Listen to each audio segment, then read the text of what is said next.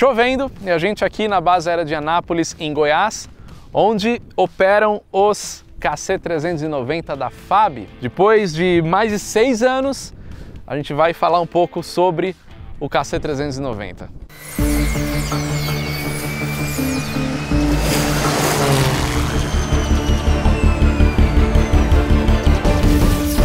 Pessoal, bem-vindo a mais um vídeo do Aero por Trás da Aviação. Faz seis anos que eu estive lá em Gavião Peixoto, que é onde tem uma, uma das unidades da Embraer, e eu mostrei esse avião de perto, mas no momento que ele ainda estava na fase de certificação. Então, para mim é uma satisfação muito grande vir aqui, ver o avião agora, e nesse vídeo eu vou mostrar um pouquinho sobre ele.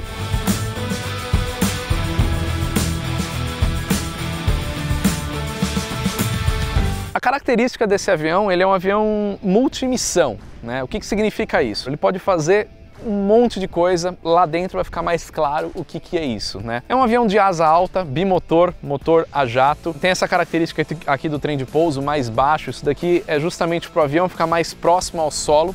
Ele é um avião com peso máximo de decolagem de 87 toneladas, então, ele não é um avião pequeno, ele é um avião médio para avião grande, só que ele é bem baixinho. Se a gente comparar com o 737, por exemplo, que já é um avião baixo, o KC é mais baixo ainda, justamente para ter essa condição da rampa lá atrás descer, ficar próximo ao solo e ele poder carregar muita coisa. Tem um negócio interessante aqui, ó, que é esse probe, essa ponta para fora. Muita gente me pergunta o que é aquilo, se é alguma antena. Tem nada de antena. Aquilo lá é um sistema de reabastecimento do KC. Ou seja, ele pode ser reabastecido em voo. Assim como ele pode reabastecer outras aeronaves, ele pode ser o avião tanque, ele também pode receber combustível de um outro avião e a mangueira encaixa em cima ali naquele probe e ele é reabastecido durante o voo. Na questão de aonde vão os tanques de combustível para reabastecimento, eles normalmente vão presos nas asas, né? E a mangueira é conectada a esse tanque e ela é estendida né, para fora, ali para trás, para que o outro avião venha e encaixe nela para ser reabastecido. Essa porta, ela é uma porta para acesso também, mas ela é principalmente para paraquedista. Então, esse avião transporta paraquedistas e eles saltam ou na porta ali de trás ou dessas, dessas portas laterais. Tem essa desse lado e uma igual do lado de lá. Inclusive tem essa porta, né? Aqui é a porta principal, ela corre para cima e essa parte abre para criar uma barreira para o paraquedista não se expor diretamente ao vento relativo, então ela serve como uma proteção para a hora que ele for saltar.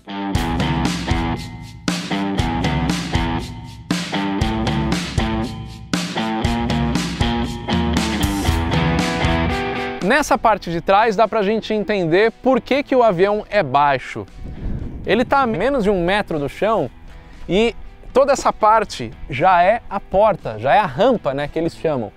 Tudo isso daqui abaixa, fica quase rente ao chão e cria um vão grande para poder carregar mais muita coisa. É viatura, trator, caminhão, container, de tudo que esse avião carrega. Por se tratar de um avião que transporta carga e essa carga é carregada aqui por trás, todo o peso da carga vai passar por essa porta, né, por essa rampa em algum momento, no início do carregamento.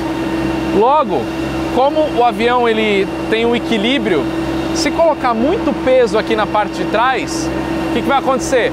O avião vai levantar o nariz. É para evitar esse tipo de problema que aqui nesse avião tem um negócio chamado strut, que é um suporte de carga. Vamos ver como é que ele funciona. Olha lá. Ele abre essa parte e ele põe para fora uma espécie de sapata. Isso aqui vai encostar no chão. Ele vai dar o suporte necessário para que o avião não ceda, né? não abaixe com excesso de carga.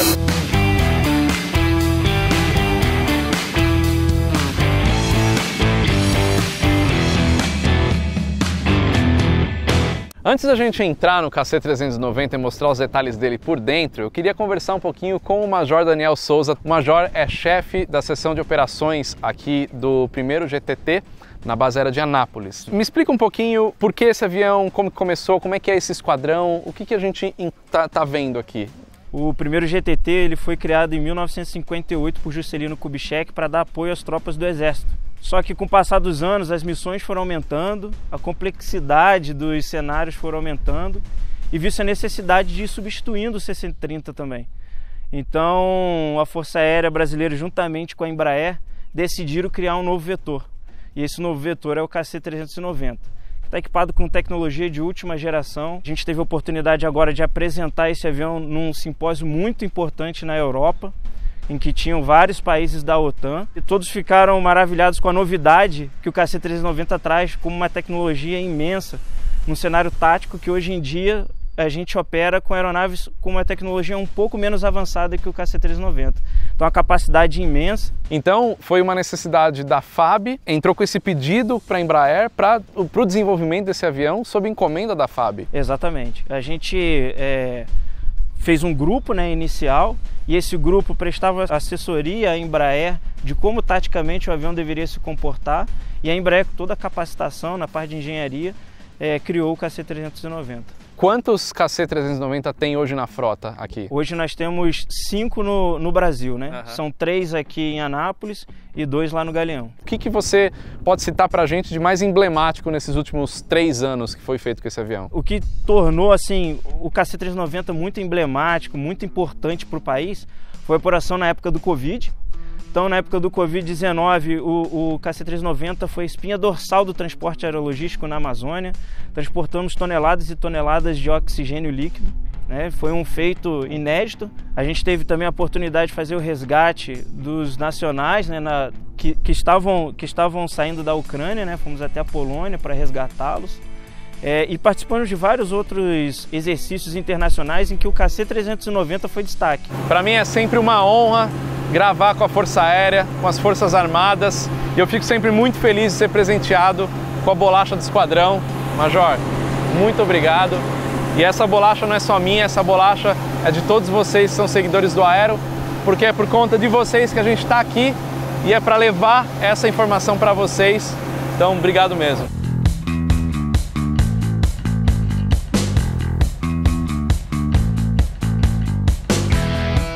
Começando um pouco aqui, a, a, curiosidade, tudo ser aparente, né? A gente vê todas as tubulações sistema hidráulico, cablagem, tudo espalhado por aqui. Por que, que é assim? Então tem redução de peso, deixar tudo exposto para manutenção ser mais fácil, mais aparente, então você consegue identificar problemas que possam acontecer nessas tubulações ou em outros sistemas. É um avião militar, então ele não precisa ser bonitinho para as pessoas que vão embarcar aqui. Logo, um revestimento, ele não só é inútil no ponto de vista de utilização, como ele também acaba atrapalhando. E o que a gente vê aqui nesse avião militar é o que tem por trás daquele revestimento de um avião comercial. Como ele é um avião que voa num teto operacional de 36 mil pés, então, claro, precisa ser pressurizado lá em cima, a temperatura já é negativa, ele tem as mantas termoacústicas, né?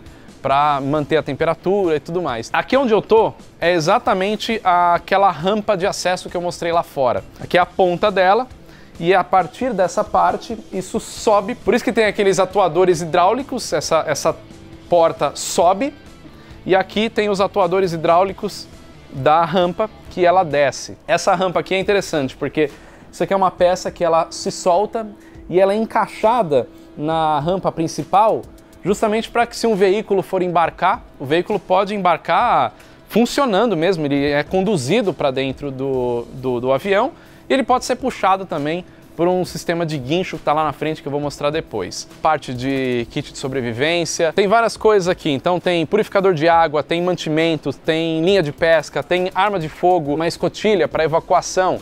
Isso é muito comum também em aviões militares, porque vale lembrar o seguinte, esse avião aqui, ele não foi feito para decolar de um, de um aeroporto com estrutura para embarcar passageiros e para o outro aeroporto com estrutura, desembarcar passageiros. Não, ele é um avião para missão militar. Então ele vai operar num nível de complexidade, de insalubridade muito maior do que um avião comercial. Logo, ele tem que ter tudo nele, ele tem que ter vários backups. Esse avião, ele leva tudo que ele precisa para fazer as suas missões. Por isso que ele opera com os mecânicos a bordo, leva caixa de ferramenta, leva algumas peças extra, enfim, um monte de coisa, porque eles vão operar em lugar ruim, que outros aviões não operam. Ele é asa alta, né? Para os motores ficarem mais longe do chão. Então ele é um avião movido com motor a jato. Não é um tipo de motor adequado para operar numa pista de terra. Por isso que ele está mais alto do chão, para ficar mais longe e não ingerir nada numa pista de terra. Você deve estar tá vendo esse cabo de aço. Esses dois cabos aqui, que tem dos dois lados, é para os paraquedistas. Os paraquedistas eles ficam amarrados aqui e essa amarração está presa ao paraquedas. E é um tipo de salto muito comum no meio militar que o paraquedista salta do avião e o paraquedas já é puxado para fora através dessa fita que está presa aqui. Também ele pode saltar normal, como a gente conhece aí no meio civil, né? Salta, salto livre, mas tem essa característica. Aqui tem uma central de comandos né, para parte da rampa, redundâncias. O avião é pressurizado, mas tem máscara de oxigênio, assim como um avião comercial, sempre. Todo avião pressurizado precisa ter máscara de oxigênio. Se tiver uma despressurização, tem que ter um backup. Além do backup do sistema do avião, também tem um outro cilindro de oxigênio extra aqui.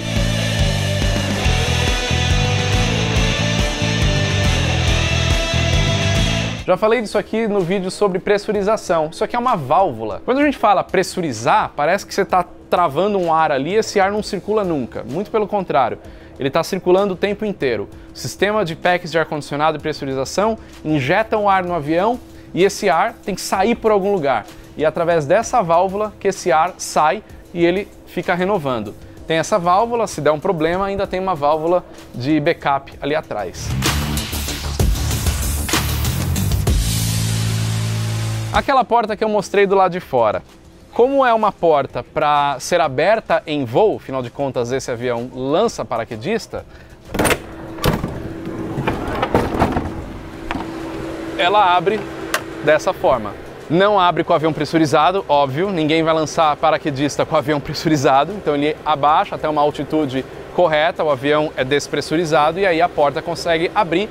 Aqui, inclusive, dá para ver o porquê que a porta não abre em voo quando o avião está pressurizado, porque dá para ver, ó, ah, é uma portinha pesada e ela faz o quê? Ela encaixa para fora, então a pressurização do avião faz isso e segura essa porta e você não consegue puxar ela de volta.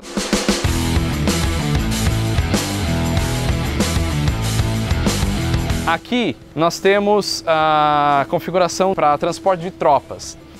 Então são os assentos nessa posição, né? cinto de segurança para cada passageiro. Mas não é só essa configuração não, tem uma outra configuração que as poltronas entram prontas e parece muito com um avião comercial mesmo. A diferença é que esse avião não tem janela. Tudo isso daqui é desmontável. E assim como eu falei que tem o cinto de segurança para cada passageiro, também tem as máscaras de oxigênio. O número de passageiros que esse avião pode carregar é de acordo com a quantidade de máscaras de oxigênio que ele tem. Não pode ter um passageiro aqui a mais que não respire uma máscara de oxigênio. Essa estrutura toda também pode ser desmontada, afinal de contas, para carregar carga, isso tudo tem que estar tá livre, vira uma fuselagem toda oca. Essa estrutura também, além de segurar os assentos né, para tropas ou paraquedistas, também podem ir macas, porque esse avião faz missão de busca e salvamento, SAR, Search and Rescue, e eles conseguem carregar até 74 macas.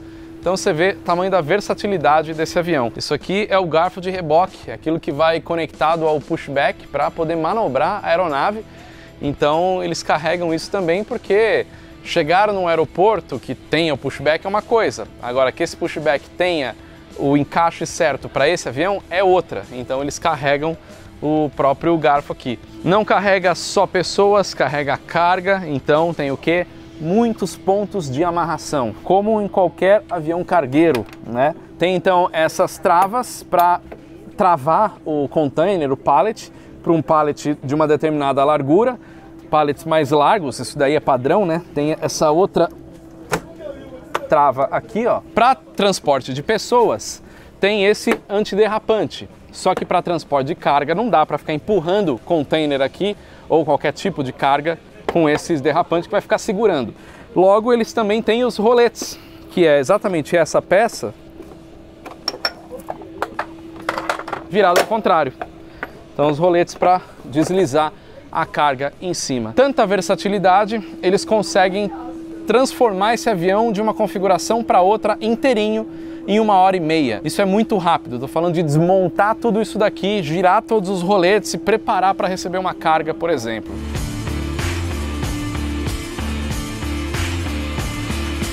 Existem alguns pontos para evacuação dentro do KC-390, são as hatches, que é a escotilha. Aqui em cima tem uma, e para sair por cima do avião, como é que eu vou acessar aquilo? Muito simples, é só pegar essa escadinha, baixar ela, deixa encaixado, puxa uma alavanca e olha o que vai acontecer com a portinha lá em cima. Ela abre, aí a gente evacua. Mas e aí? Eu pulo do avião? Não, eu vou descer com uma corda que já é preparada para isso. Joga essa corda para fora, corda devidamente jogada para fora. Olha ali, ó. E é essa visão que a gente tem aqui de cima do KC390.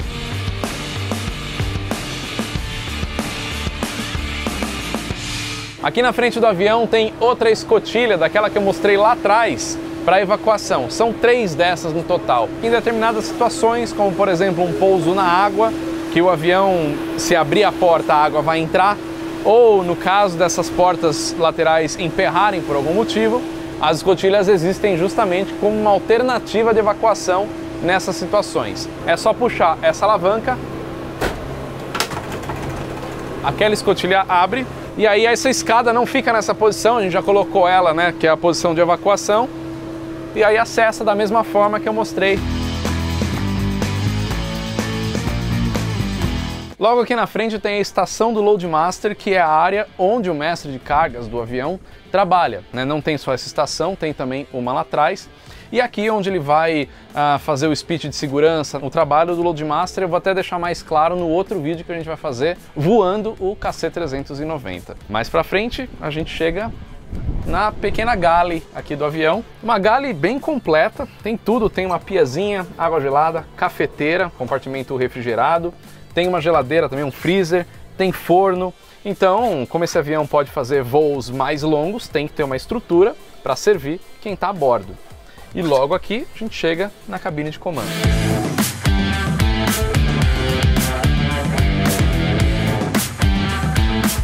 Na cabine tem a terceira escotilha que eu falei, né? Mesma coisa para acessar a parte de cima do avião e fazer evacuação. Tem essa área de descanso dos tripulantes, mais uma área de descanso embaixo e pode ser também o jump seat, né? Então a mesma coisa, o tripulante pode vir aqui como ele pode deitar. Tem o assento do mecânico de voo, nos aviões militares é um terceiro tripulante necessário na cabine, que trabalha junto com o piloto e copiloto. Aqui tem mais uma estação de trabalho para a parte de abastecimento em voo e agora cockpit.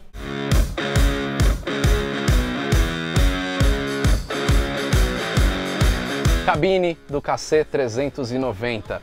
Última geração, que tem de mais moderno na aviação. Então são cinco telas isso aqui. A gente não vê mais instrumentos analógicos nesse avião. A gente chama isso de Full Glass Cockpits. Basicamente, aquela configuração de telas que eu já mostrei em outros vídeos, né? Aqui tem as configurações primárias, o PFD, Primary Flight Display, que é horizonte artificial, velocidade, altitude. Aqui já entra mais as partes de sistemas e motores. Né? Aqui está integrado com os computadores uh, de voo, Flight Management System, o FMS, para fazer plano de voo, toda essa parte, e do lado de lá uma redundância.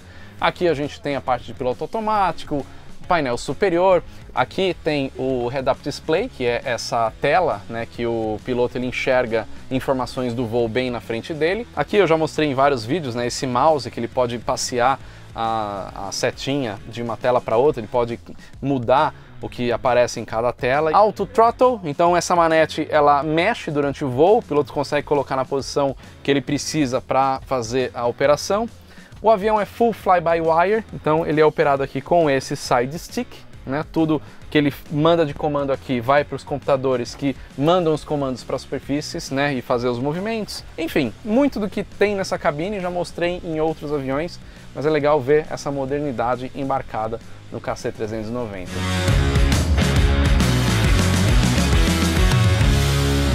Bom, é isso. É, eu quis tentar dar um panorama geral né, de tanta coisa que tem esse avião. Está entrando em operação pela Força Aérea Brasileira, chamando a atenção de vários países do mundo e muitos já estão adquirindo o KC-390, então acho que é um orgulho muito grande a gente poder dizer que esse avião saiu daqui. Então, deixa o seu like, compartilha aí o vídeo, beleza? É isso. Não se preocupe que a gente não voa nesse vídeo porque vai ter outro específico fazendo um voo mostrando como é que é a operação dele do KC390 na prática, que é o que a gente gosta de mostrar aqui. É isso aí, valeu e até o próximo vídeo.